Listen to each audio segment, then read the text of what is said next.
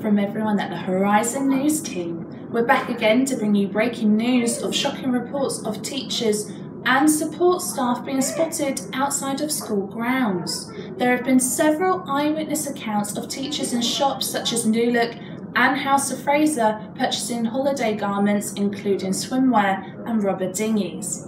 Researchers have concluded that this is due to the summer holidays fast approaching.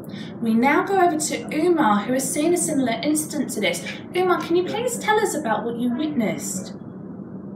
It was shocking, really. I saw two teachers having a coffee earlier on a Saturday afternoon. Such a shock, I didn't know what to do.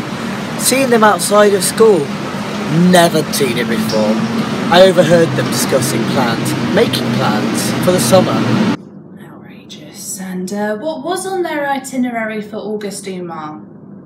They talked about going to barbecues, they booked holidays to Europe, they even discussed nights out with their friends. It's like they are normal people. Umar, you've kindly sent us in a picture of what you saw. Can we please show that to everyone watching at home?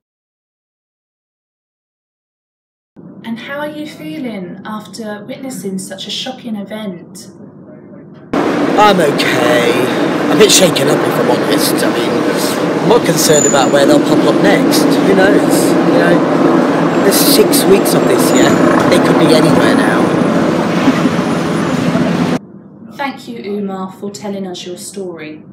Hotspots that teachers and support staff are most likely to be seen at this summer are the shops, especially off licenses, restaurants, the cinema, or anywhere that is considered fun or relaxing.